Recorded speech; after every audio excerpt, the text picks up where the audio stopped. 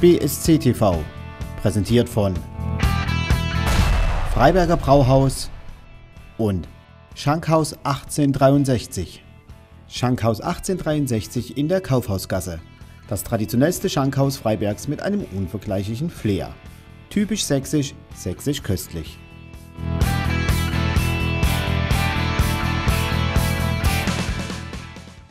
Ja, Klick auf, meine sehr verehrten Damen und Herren. Der Braumeister Michael heißt Sie wie immer im Schankhaus 1863 in Freiberg ganz herzlich willkommen bei F3.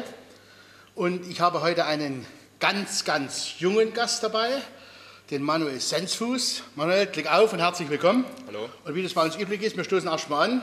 Prost, denn wir sind im Schankhaus und im Schankhaus trinken wir auch Bier. Prost, meine Damen und Herren. Ja, wenn ich sage, ganz, ganz junger, Letzte Woche sind wir 90 geworden. Das stimmt, ja.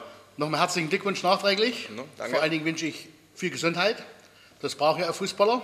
Ja. Ohne, der, ohne die Gesundheit geht es wirklich nicht. Seit wann bist du bei der Action?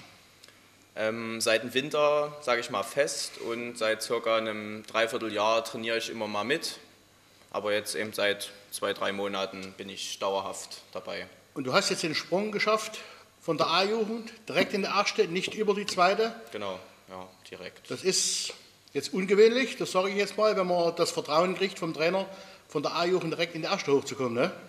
Ja gut, das kann ich jetzt nicht so beurteilen. Ich bin jetzt auch nicht ewig in dem Verein, wie das immer läuft, aber ich fühle mich da schon geehrt, dass ich da gefragt wurde und es läuft ja auch ganz ordentlich bisher. Aha, Bescheidenheit ist eine Zier, das freut mich. Und wenn ich dich so angucke, du bist ja auch nicht der Kerl, sage ich jetzt mal, von 1,90 Meter und 85 Kilo, mhm. sondern zart, schlank, rank. Aber entscheidend scheint doch zu sein, was du auf dem Platz ablieferst. Ne? Ja, das denke ich auch. Und das Körperliche, das lässt sich ja noch verändern in den nächsten Jahren. das hoffen wir mal. Wie viele Spiele hast du bis jetzt gemacht? Ähm, fünf, fünf 15, Spiele, ne? glaube ich. Und Tore? Ein, eins ist mir bisher gelungen, in Pflichtspielen zumindest, also Freundschaftsspiel auch noch. Sehr gut. Wo warst du vorher? Welche Vereine hast du alles schon gesehen? Wo kommst du ursprünglich her? Also mit Fußball angefangen habe ich beim SV Oberschöner, ja. also Dorf hier in der Nachbarschaft. Genau. Ähm, dann bin ich auf die Sportschule gewechselt zum CFC, dann zu Dynamo Dresden und dann seit der B-Jugend spiele ich beim BSC. Fein. Also die Nachwuchsarbeit vom BSC seit Jahren bekannt, ja. Muss man einfach mal so sagen und was da hervorgekommen ist. Und das ist ein weiterer Schritt, dass man mit der eigenen Jugend die erste Mannschaft stärkt, finde ja. ich toll. So, nun schauen wir mal zurück. Die letzten Spiele, so schlecht war es doch gar nicht, wie wir aus der Winterpause rausgekommen sind. Gegen Riesa äh, unentschieden. Wer war der Torschütze? Das war ich so. Beim 1 zu 1, genau so ist es. Dann gegen in Görlitz, ein 0-0, wo eigentlich für Freiberg immer ein schweres Pflaster war. Ne? Das war auf jeden Fall ein positiver Erfolg ja, ich sag mal, wir waren da vom Kader her recht dezimiert und dort ein 0-0 war schon eine ordentliche Leistung. Finde ich klasse. Ja, dann drei ganz wichtige Punkte gegen Grimmer. 2-0 so als souveräner Sieg, ganz klasse.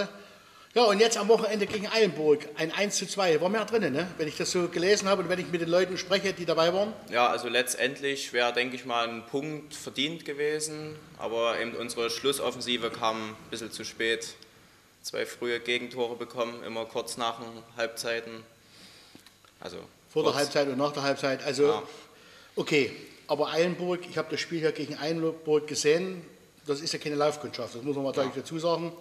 Und wenn ich sage, Pfostenschuss war ja auch noch dabei, ne? also ja. von daher, okay. Ja, auch alle Gegner jetzt in der Rückrunde, wenn man jetzt auch Inter Leipzig dazu nimmt, das waren jetzt fünf Gegner, die über uns stehen und da haben wir acht Punkte geholt. Ich denke mal, das hat vorher niemand so unbedingt erwartet und auf dem Zettel gehabt und da kann man schon recht zufrieden mit sein. Das denke ich auch. Das muss man auch mal so werten. Das ist ein Erfolg mit 26 Punkten. Es sind 10 Punkte zu einem Abstiegsplatz. Mhm. Aber der Trainer wird jetzt gleich wieder die Bremse reinschmeißen und sagen, Moment mal, Moment mal, Moment mal. Ja. Da hat er auch vollkommen recht. Da hat er recht, ja. Tja, jetzt kommende Woche, Sonnabend, da haben wir Post SV Dresden und die sind nur der Letzte. Ja, aber ja, natürlich, ja. Wenn man sich die Tabelle anguckt, gut, die haben noch kein Spiel gewonnen, aber das macht den Gegner vielleicht sogar noch gefährlicher, weil die haben wirklich nichts zu verlieren. Wenn sie jetzt nicht irgendwann mal punkten, dann haben sie es eigentlich schon, sind sie eigentlich schon abgestiegen. Und ja, so ein Gegner ist vielleicht noch schwieriger als einer aus der höheren Tabellenregion. Ich denke auch. Diese alte Problematik, die im Hinterkopf manchmal mitspielt, ja. das ist der letzte. Okay, das Ding ziehen wir. Genau. Und dann während des Spiels, wenn es mal nicht läuft, den Hebel umzulegen, ist egal in welcher Klasse man spielt, ist unheimlich schwer. Ja. Also wie ich euren Trainer kenne, wird er euch aber sehr, sehr genau vorbereiten, oder? Ja, das denke ich auch. Also das Training jetzt am Montag war schon recht intensiv, also die Vorbereitungen laufen und wir werden alles geben, um da die drei Punkte da zu behalten. Fein, also ihr seid überhaupt nicht abgehoben, sondern es geht euch einfach darum, nee.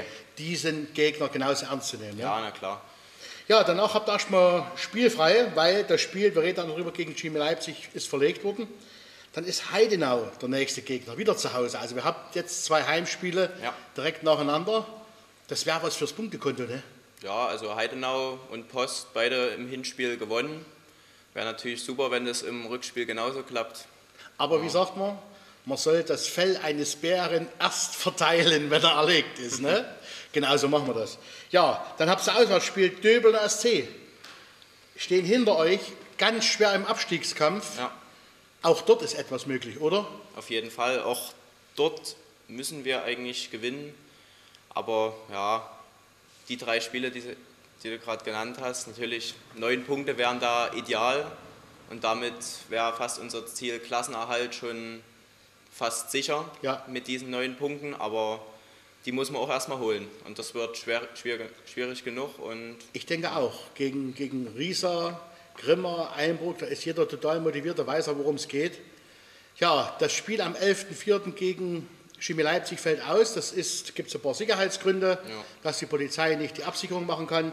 Am Pfingstmontag kommt Chemie, so wie sie heißen, hier nach Freiberg. Ja. Und Chemie ist, wenn ich die Tabelle richtig lesen kann, Spitzenreiter. So sieht's aus, ja. Und Chemie waren in Leipzig beziehungsweise hier immer richtige Derbys. Hast du die gesehen? Also in Freiburg beim Pokalspiel war ich mit dabei. In Leipzig, da war ich nicht mit dabei. Aber du kennst ja ungefähr die Atmosphäre. Ich kenne die Atmosphäre. Beim Heimspiel beim Pokal waren 800 Leute da. Da ging es schon ordentlich zur Sache. Und dann noch der Ausgang zugunsten von uns, da war schon ordentlich was los. Also wir dürfen für den Pfingstmontag einen richtig heißen Fight erwarten, oder? Definitiv, ja.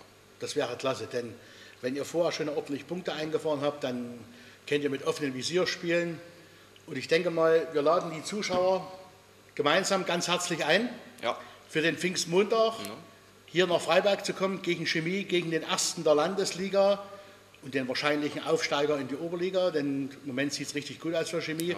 Wenn ihr nicht noch was dazwischen legt, sage ich jetzt einfach mal. Also meine Damen und Herren, herzlich willkommen. Spätestens, wenn Sie die anderen Heimspiele gegen Dresden und Heidenau nicht in, in Anspruch nehmen wollen, was natürlich sehr schade wäre, aber am Pfingstmontag gegen Chemie Leipzig, ich denke, da wird sich das gesamte Erzgebirge und der Freiberger Raum hier in Freiberg treffen zum Spiel gegen Chemie. Wir sind hier im Freiberger Schankhaus. Dir danke erst einmal ganz herzlich, dass du da warst. Man sieht sich, ne? Ja. Danke, dass du da warst. Und für Sie, meine Damen und Herren, noch eine Empfehlung das Schankhaus 1863 am Ostersamstag, dem 4.4., spielt hier ab 20 Uhr Live-Musik die Gruppe Rollsplit. Wer das erleben möchte, kommen Sie hierher. Ein gutes Bier, eine gute Truppe und entsprechende Stimmung. Ich kann Ihnen es nur empfehlen. In dem Sinne, meine Damen und Herren, der Braumeister Michael und der Manuel Sensfuß sagen ganz herzlich Glück auf. Bis zum nächsten Mal. Prost!